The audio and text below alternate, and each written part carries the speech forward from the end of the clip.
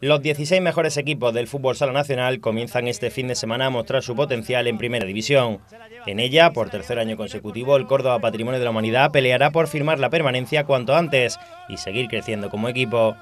Por segunda temporada, Jesulito será pieza clave en la consecución de los éxitos de los blanquiverdes, por su carácter, su talento, su experiencia y su visión de juego. Yo personalmente me gusta tener responsabilidad, sea para bien o para mal, siempre dando la cara. Y si este año sí que es verdad que tenemos que dar un pasito más hacia adelante, la plantilla también ha dado un, gran paso hacia adelante por, el esfuerzo de Press y de toda la directiva.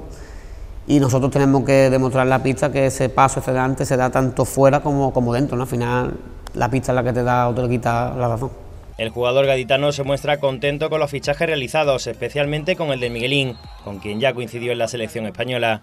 Una liga guerrida espera el 6 del Córdoba Patrimonio de la Humanidad, donde la afición cordobesa jugará un papel fundamental en Vista Alegre para sumar el mayor número de puntos. El año pasado todos los partidos que perdimos fue sin público, entonces nosotros poder disfrutar como el año pasado, como Cartagena, por ejemplo, cuando vino a casa, que se ganó con Levante, con Barça, y poder disfrutarlo con ellos y que cuando salga, salga el himno y se escuche el himno la gente lo cante, eso a nosotros a mí, vaya, se me pone la piel de gallina.